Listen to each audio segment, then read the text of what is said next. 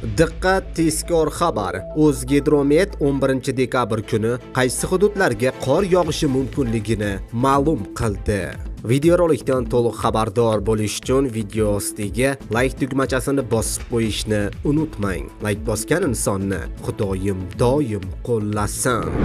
Sizga zudlik bilan payvandlash bo'yicha mutaxassislar kerakmi? Butun mamlakat bo'ylab payvandchilarning katta ma'lumot bazasiga ega bo'lgan Shritmin ilovasidan foydalaning. Xodimlarning profili va sharhlari orqali bir necha daqiqada muammoyingizni hal qila olasiz.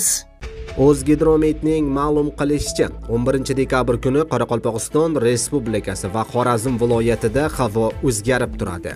Kechasi va ertalab ba'zi joylarga qor yog'adi. Kunduzi yog'ingarchilik kutilmaydi. Harorat kechasi 5-10 daraja sovuq, kunduzi 0.5 daraja sovuq bo'ladi. Toshkent, Samarqand, Jizzax va Sirdaryo viloyatlarida havo o'zgarib turadi. Ba'zi joylarga yog'ingarchilik, yomg'ir, qor bo'ladi. Harorat kechasi 2 daraja sovuq, 3 daraja iliq, kunduzi 0.5 daraja iliq bo'ladi. Andijon, Namangan va Farg'ona viloyatlarida havo o'zgarib turadi. Ba'zi joylarga yog'ingarchilik, yomg'ir, qor bo'ladi. Harorat kechasi 2 daraja sovuq, 3 daraja iliq, kunduzi 3-8 daraja iliq bo'ladi. Respublikaning tog'oldi va tog'li hududlarida havo o'zgarib turadi. Ba'zi joylarga kuchli qor yog'ishi mumkin. Harorat tog'li hududlarda kechasi va kunduzi 0.5 daraja sovuq bo'ladi.